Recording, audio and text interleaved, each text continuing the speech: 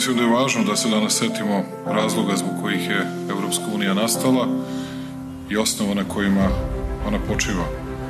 Šta je to što nam je zajedničko u Evropi, šta je to što nas sve spaja. Danas je Dan Evrope i u ime Republike Srbije čestitam svima vama Dan Evrope.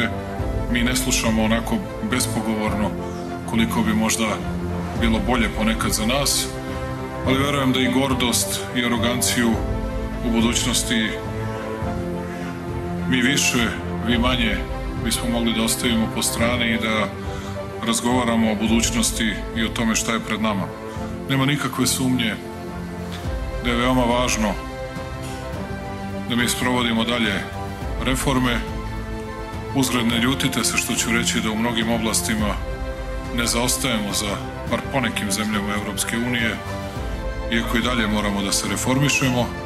Da, mislimo da pripadamo Evropi, mislimo da je Evropa naša kuća i Srbija će biti na evropskom putu, bilo to popularno ili ne. Nekada je manje, nekada je više popularno, ali je to naša strateška i stalna pozicija koja se neće menjati u skladu sa dnevnom politikom.